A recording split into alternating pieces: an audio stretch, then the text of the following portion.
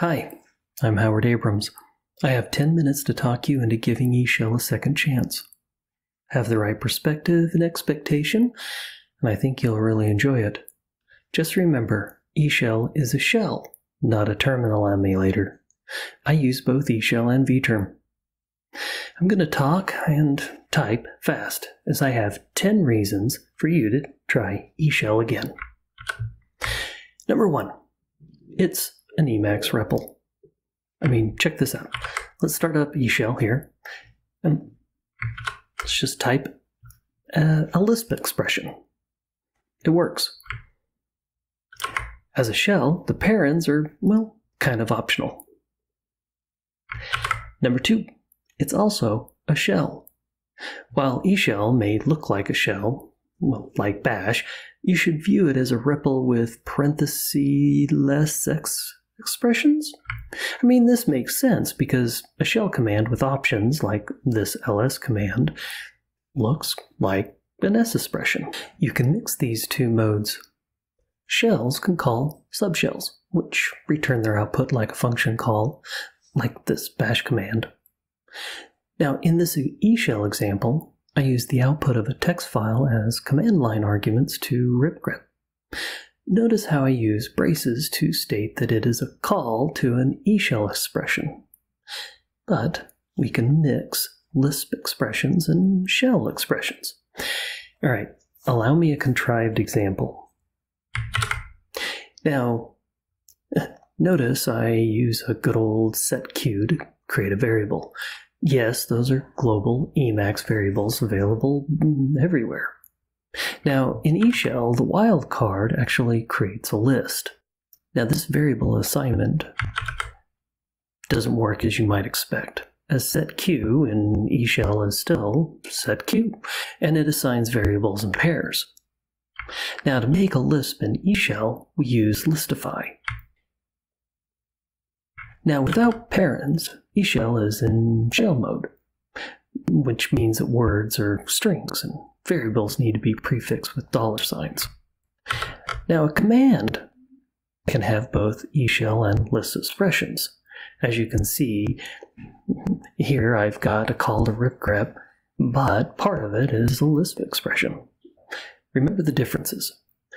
With parentheses, eShell treats it as a Lisp, just like the last line in my example.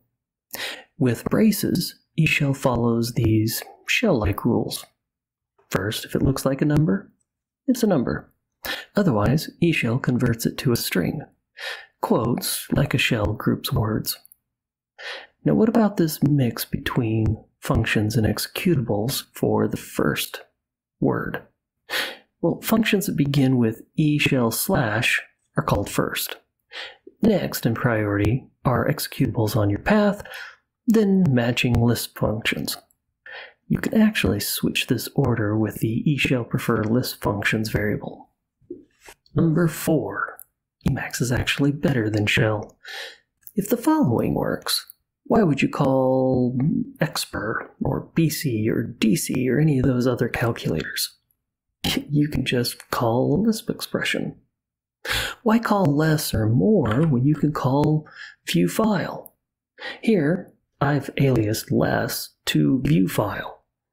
Let's load it back up, and it just shows up in a mode. Just like less, if you hit Q, you go back to your eShell terminal. I do have an improvement though.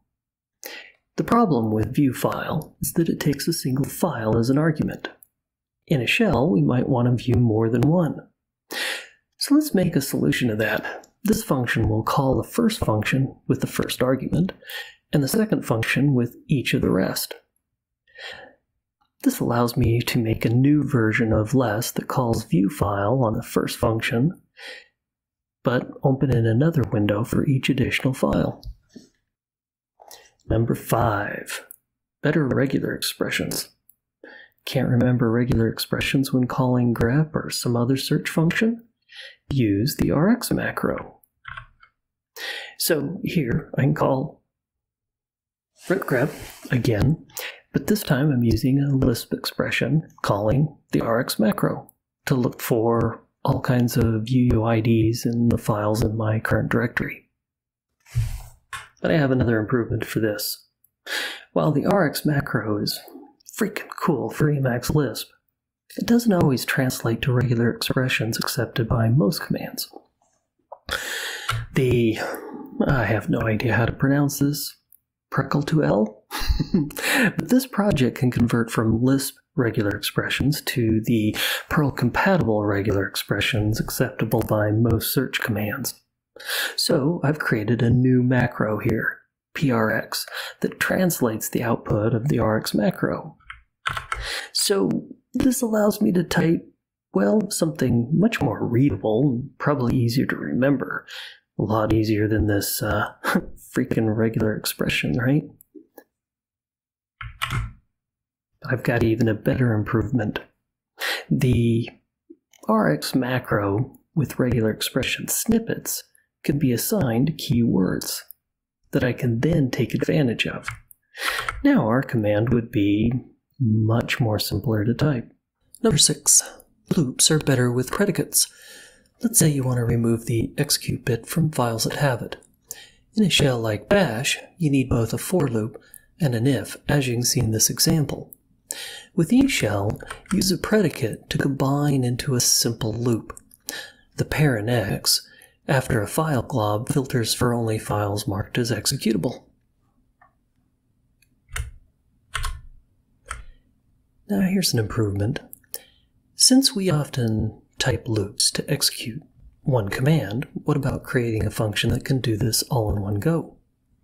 This do function splits the arguments on that double colon, where the left side is a single statement to run, the right side is a list of files.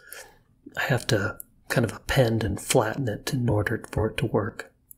It loops through each file, creating an eShell command with the file appended. With this, I can remove the execute on all CSV files that have it. I see that my example wasn't too good, as most commands like chmod accept multiple files, but you get the idea. In my final larger form uh, on my website, I don't assume the command expression accepts a file as a final argument, as I can replace underscores with the file name. Number 7. The output of the last command. Most shells have a special variable dollar sign question mark for the exit code of the last command. But while reading through the source code, I noticed that the double dollar sign refers to the output of the last command. This seems pretty cool. However, eShell returns true or nil when running external commands. So accessing the file output from a call to ls, it just doesn't work as expected. But this is Emacs, we can fix that. After running any command, eShell sets these four variables. I can hook a function to call after every eShell command. Then using a buffer substring, I store the output into a global variable, and then extend eShell's special variables list. In my Emacs configuration, I turn this variable into a ring, so while double dollar sign works, so does array subscripting on that variable. This allows me to run a command and use the output from that command more than once. The code for this is a bit longer, so you'll need to see my Emacs configuration for details. Number 8, redirection. Okay, output of any command can go to the kill ring, you know, or the clipboard. Think of the implications. You don't have to go into text selection mode, just grab the output.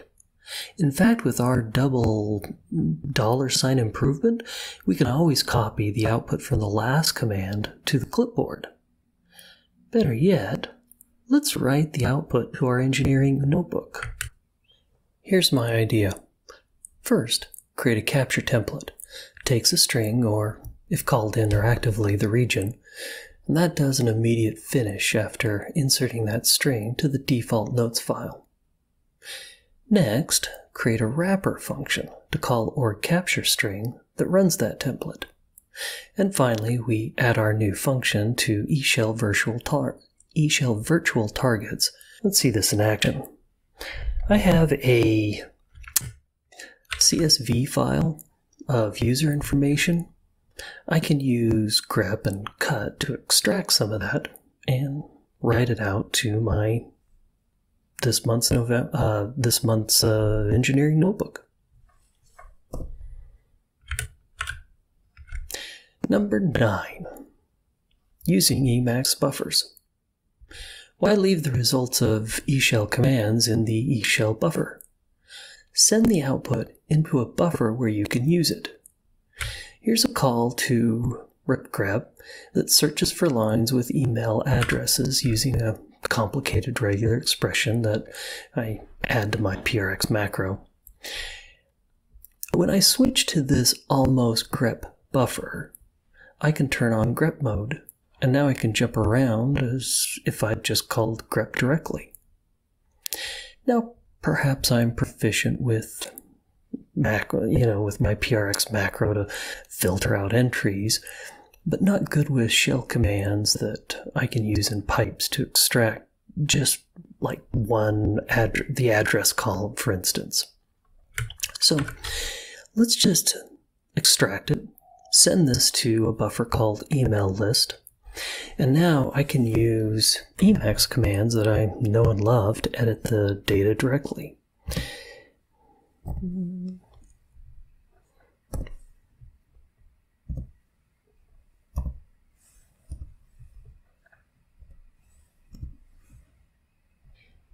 We currently have an oversight that eShell's built-in cat command doesn't pipe buffer contents as standard in.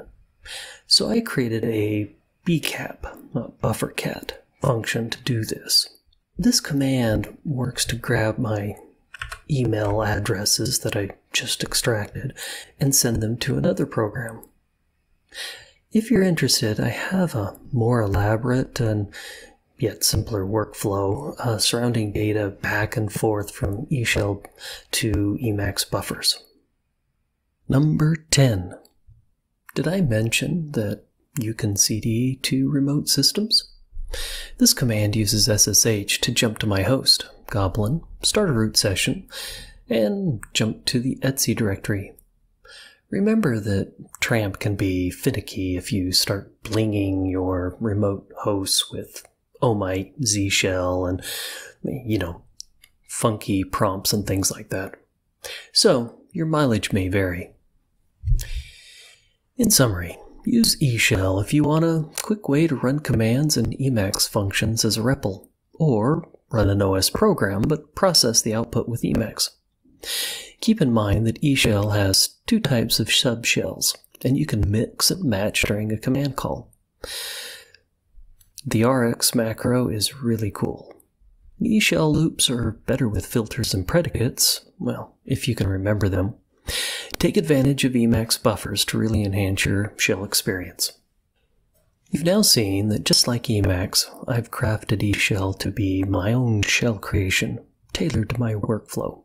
So, steal my spells, cast your own magic, but feel free to share your incantations back to me. I've gone over my time allotment, so we'll have to continue this discussion on the inner tubes.